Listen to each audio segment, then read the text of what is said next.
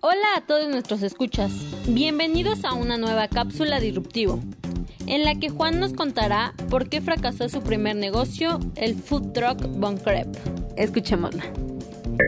Hola a todas, hola a todos, ¿cómo están? Oigan, pues Bon Crepe fue mi primer negocio que fracasó, eh, un food truck de crepas de hace como 5 o 6 años. Eh, pues justamente como lo que quisiera compartirles es que dentro de muchos factores, muchos externos y varios internos también, pues yo creo, yo le adjudico que una de las principales cosas que nos falló con Bon Crepe, por lo cual fracasó, fue que después de un tiempo eh, de haberlo comenzado, ninguno de los tres socios nos enfocamos realmente al negocio. Este, cada uno empezó a hacer cosas por separado. Yo, por ejemplo, pues me avancé con Disruptivo.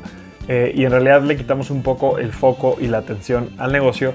Eh, y pues ya se estancó y, y, nunca fluyó y nunca lo logramos hacer rentable. Y eso fue una de las decisiones por la cual decidimos vender. Y pues la verdad sí perdimos algo de lana. Eh, esa es una de las razones por las cuales pues, yo fracasé con ese primer negocio. Y pues quisiera preguntarles ahora, ¿qué otras razones creen ustedes que son las más comunes por las que fracasan los negocios? Eh, me encantaría conocer sus reflexiones, escucharlas. Yo no hablo mucho de Concrep, quizá voy a, voy a empezar a contar un poquito más de anécdotas porque la verdad tengo unas historias muy padres. Pero bueno, por ahora quería como recalcar esta, este pues como primer fracaso que tuve, este, o esta causa específica dentro de muchas que, que, fue parte del fracaso, ¿no? Que es que pues, hubo un punto en que los socios, la verdad, después de tres años muy intensos, nos quisimos desentender del negocio.